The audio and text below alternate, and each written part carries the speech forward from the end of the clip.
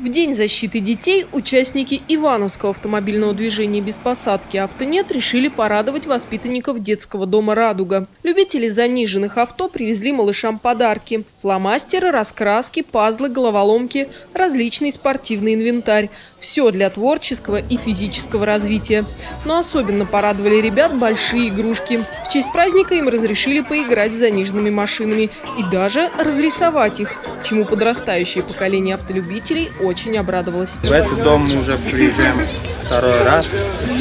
Почему именно в этот детский дом? Потому что в моей школе, вот он находится рядом с моей школой, очень много ребят тут вот отсюда учил, учился со мной. Мы хотим привлечь внимание ребят, вот, чтобы они увлекались машинами, всякой техникой, чтобы они ну, не, не сталкивались в своей жизни с наркотиками, с алкоголем, вот, как бы, ну, на правильный путь, что ли, поставить.